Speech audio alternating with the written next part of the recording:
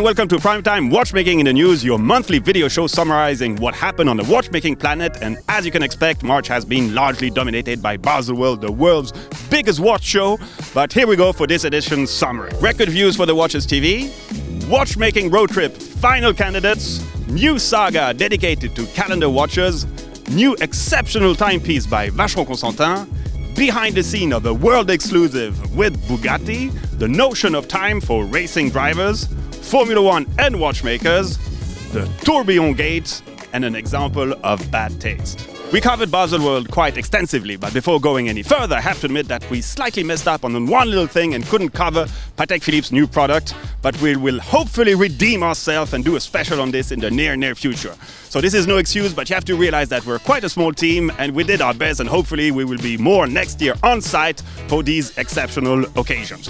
Nevertheless, we really want to thank all of you watching us because March has been a record month and for the first time we crossed a pretty cool milestone with more than 500,000 video views in one month and now you are more than 32,000 subscribed to our channel. This really makes us super happy, super proud and enthusiastic for the future as we have still a lot of interesting and cool ideas regarding contents. I also quickly wanted to let you know that we've come up with our final selection of candidates for our fantastic watchmaking road trip. They can start packing and be in Geneva during the first week of July, and we'll keep you informed as we go along. And finally, just wanted to announce that we will soon uh, air our new five episode saga, this time dedicated to the calendar function of watches, so stay tuned on this one. I'll come back on some interesting and funny side stories about Baselworld in a few moments. But before, let's talk about another product launch that didn't happen in Basel. Yes, the world doesn't uh, stop there. And we've just seen a spectacular new timepiece released by Vacheron Constantin.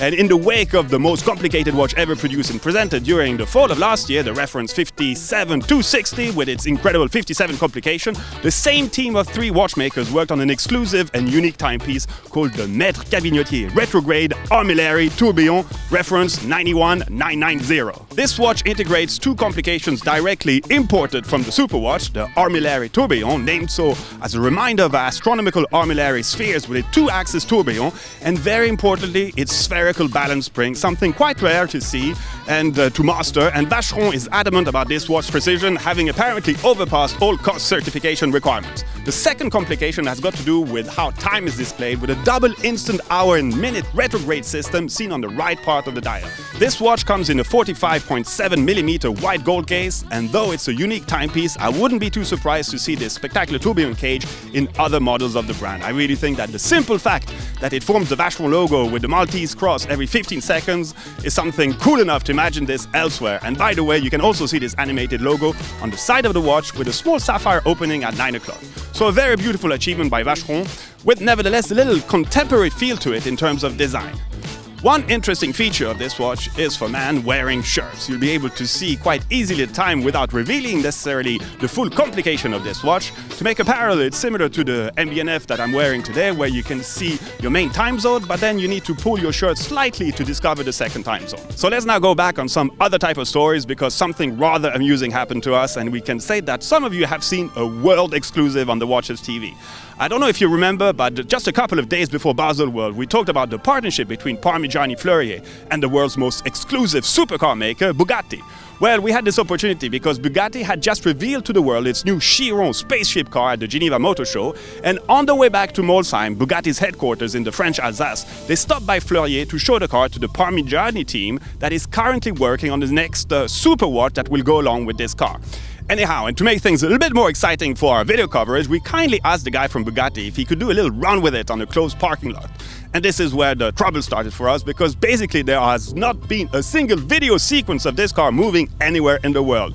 Bugatti is reserving this for a mega launch event later this year. So Bugatti politely asked us to remove the video and with the idea of having to test this supercar and its designated watch, well, we kindly, or one can say strategically, abided and temporarily removed the video. But you were already more than 12,000 having viewed this video in less than 48 hours, so you see always something exciting on the Watches TV. And let's remain a bit in the world of cars with some side stories of. And let's first start with Rebellion, who is, as we showed you in previous reports, like a two-sided coin with its extreme timepieces on one side and its very own racing outfit on the other side. They are not sponsor of a team, it's really their very own team and are, for instance, the only private team participating at the LMP1 Endurance Championship against little manufacturers like Audi, Porsche and Toyota. So this year they wanted to have their pilots push themselves their racing car through the streets of Basel in order to put it on display by the main hall. And uh, well, that wasn't really allowed by the very inspired authorities, but anyhow, it allowed me to get some quick interviews with some of their pilots and talk about their vision of time and what parallels can they make between extreme sports cars and creative watchmaking. What parallels can you make between uh, car racing and watchmaking?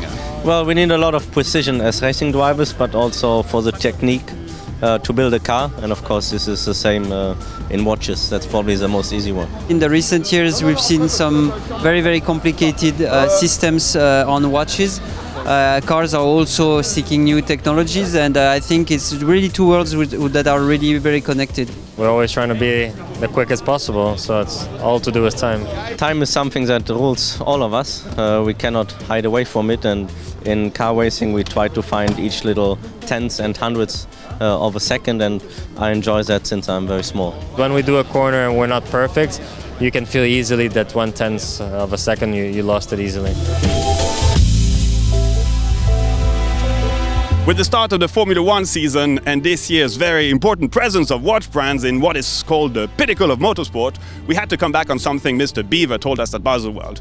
We know about his incredible capacity of occupying the media scene, him and all the brand he takes care of, but with the renaming of the Red Bull team as the Red Bull Tag Heuer Formula One team, and if you listen to his intervention during our Baselworld coverage, it's as if Tag Heuer had actually built the engine that goes into that car.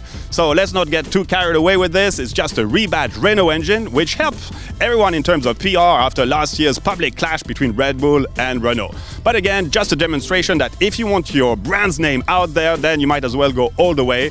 And this has been a pretty smart move by one of the most successful and influential men in watchmaking. And on a personal note, I used to really like the sport uh, a lot actually, but Formula One has got rather boring over the last few years. I still think uh, I still like all the technical dimensions of it, and hopefully we'll get back on track, but we'll see. I have a few doubts about that, uh, even though we saw some uh, pretty nice surprises, for instance with the outstanding performance of the new US team Haas, meaning that there is always space for strong and clever newcomers. But let's stay with uh, Mr. Biver and uh, what we've called the Tourbillon Gate, because he created some kind of major uproar with some other brands with the introduction of the Tiger Tourbillon watch, in particular with Patek Philippe's president, Mr. Thierry Stern, who talked quite loudly about this in the Swiss media, even mentioning that it was killing the tourbillon. But the funny thing is that that watch has been announced almost a year ago uh, with this aggressive pricing. It was presented in February, and it's only when the news really hits the, the, the spotlight that it created such a fuss. So we'll follow this quite closely, but I'm sure we haven't seen the end of it. And finally, just want to share something demonstrating, unfortunately, and yet again, human imbecility with the private security detail of a watch brand that didn't find uh, a better idea on almost the following day of the terrible terrorist attack of Brussels to stage a false bomb alarm in Baselworld to check if official security was doing its job. Well, obviously it created some serious confusion, but no harm. But this is just an example of bad taste and we don't know which brand it is, but I guess it will be probably a bit difficult for them to deal any discounts or even its present for next year's at Baselworld. So this is it for this edition of Primetime. Remember our new saga dedicated to calendar watches, and this will be aired uh, very shortly. And we'll have some other cool reports coming along the entire uh, month of April. So thank you so much for your support. Thanks for your numerous comments and the cool interactions between us. All the best and see you soon.